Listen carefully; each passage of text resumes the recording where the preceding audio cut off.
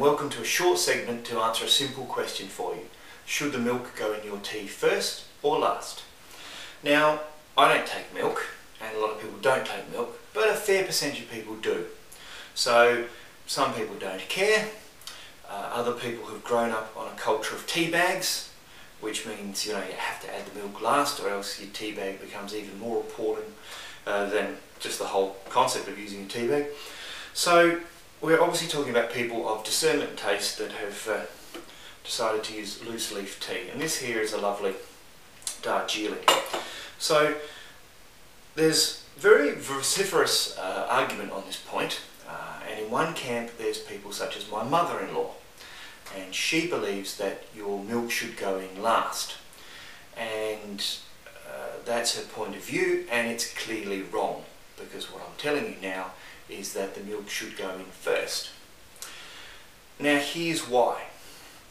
When tea started to first rampage across Europe, people were drinking out of teacups that looked a little bit like this. Okay, so this is 20th century Hungarian, or Czech, sorry, Czech, rather than 17th century French, but you get the point. It's a lovely, delicate little cup. And because the art of making teacups was in its infancy, Often when tea was poured into them, they would crack. That was rather expensive. So someone developed the idea of putting a little bit of milk, and bear in mind the milk of those days would have been pretty well at room temperature. There was no refrigeration. And then by adding the tea afterwards, the cup doesn't crack. And I'd ask you to note that the cup didn't crack. Uh, you could argue that most tea these days isn't served in delicate cups, or indeed that delicate cups themselves are nowhere near as delicate as they used to be. But it's a fine old tradition.